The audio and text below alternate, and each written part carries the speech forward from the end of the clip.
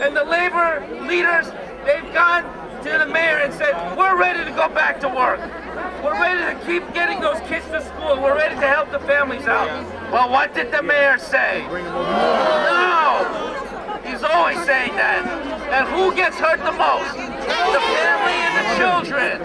Well, we're going to stand here today. We're going to walk over the Brooklyn Bridge. Look at this. I can't see where the people end. Thousands of us here. Also New Year's Day today. I want to wish everybody a Happy New Year. Happy New Year! Let's get across this bridge. We're going straight to City Hall to send them a strong message.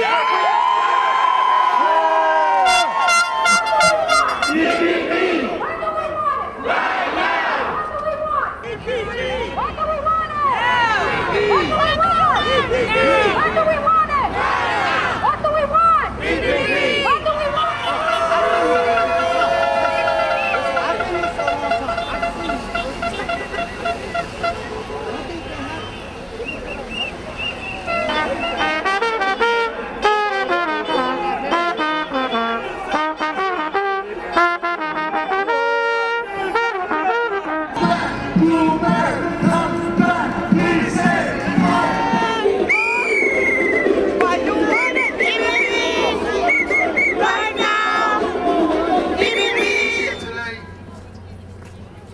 to start by saying thank you for all the brothers and sister locals that are here today.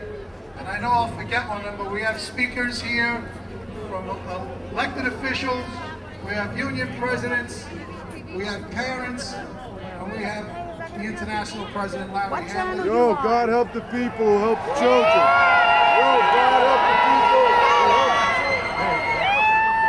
We did it hard. I mean,